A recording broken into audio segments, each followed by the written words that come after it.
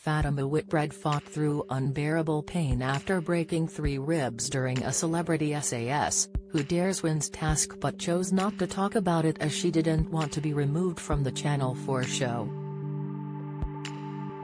The former athlete, 61, injured herself when she jumped out of a helicopter into the sea, a challenge which saw TOWIE star Pete Wicks, 33, leave the show after he too cracked his ribs and knocked himself unconscious.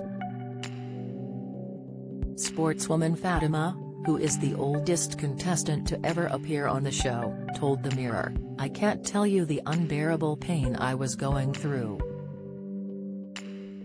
Even picking up my backpack was really hard. I knew I was being a pain to some of them asking them to help me on with my backpack where normally I'd just yank it up with one arm. But I couldn't even do that thanks to three cracked ribs. As the days went by, the pain got worse. I couldn't lay down properly or sit up properly. And it was just moving about trying to get dressed, awful. Absolutely awful. Fatima said quitting the show never crossed her mind as she was determined to see the process through. She said the pain was gripping her after the accident leaving her unable to lie down properly at night. At the time she was unaware she had injured her ribs and decided not to see a doctor about the pain because she didn't want to be told to leave the series. Mail Online has contacted Channel 4 for comment. Last month, Pete said he was truly gutted to be medically withdrawn from Celebrity SAS after he knocked himself unconscious and broke his ribs during the helicopter challenge. The only way is Essex cast member was seen floating face down in the sea in the shocking scene after jumping from the aircraft with fellow reality star Ashley Cain.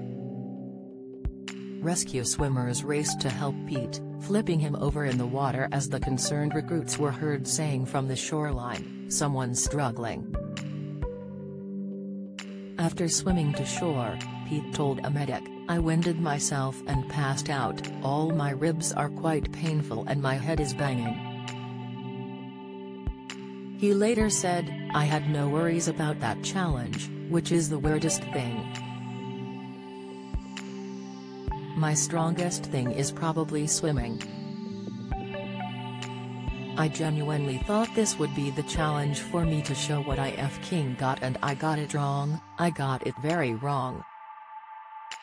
I think my leg got a little bit caught in the bag and I went straight down onto the bag, knocked myself out and broke my ribs. I felt dazed and confused. I was struggling to move my upper body. Basically, I think where it hit the bag, and I think just the impact of being unconscious and everything else, I was very confused. I didn't really know exactly what was going on and even moving my arms was quite painful, just because the pressure that was on my ribs and everything, so it just wasn't nice. It was just a strange, strange experience. Following his accident, the Channel 4 show's chief medical officer medically withdrew Pete because he needed to have a chest x-ray. New chief instructor Reyes, who took over from Ant Middleton, told the TV star, the issue is you have some damage and the course is going to get much harder physically, and it's too risky for your health. Wiping his eyes, Pete said, I didn't want to come out like this. I don't F King quit anything, that's what it feels like. On leaving the series, Pete said, I was gutted actually. This is a bit of a thing for me, it's like I've always wanted to do this show and the worst thing for me was to be taken out because that's something that I can't control. But, being completely honest, they're 100% right because I wouldn't have been able to carry on with my broken ribs. To have been out so early, I was absolutely gutted because it's a fail. And, Unfortunately now for me, I feel like I failed. It's something that will F King haunt me because I just don't fail things. I don't say I'm going to do something and don't do it, so I was genuinely so hurt, gutted, disappointed and angry at myself. I still am, to be honest, even a year later. That was tough for me. I felt like he'd let a lot of people down, I felt like he'd let myself down. There was no way I was ever going to hand my armband in. I knew I never would, so to go out the way I did really hurt. To be withdrawn because you're physically unable to carry on for something that was an unfortunate accident, I just found really, really tough. Pete said he would do the show again tomorrow if they gave him a second chance to appear. I feel like I've got unfinished business and I failed as far as I'm concerned. I want to put that right, he said. It was something that is genuinely going to haunt me. I think there are so many things that happen on that show that would have benefited me as a person.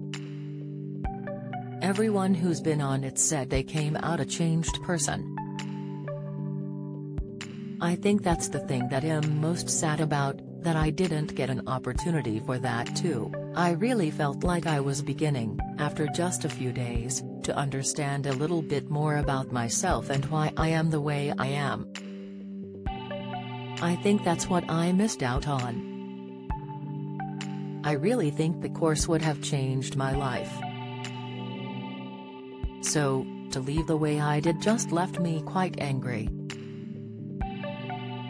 It's left more than just a bitter taste in my mouth, am truly gutted.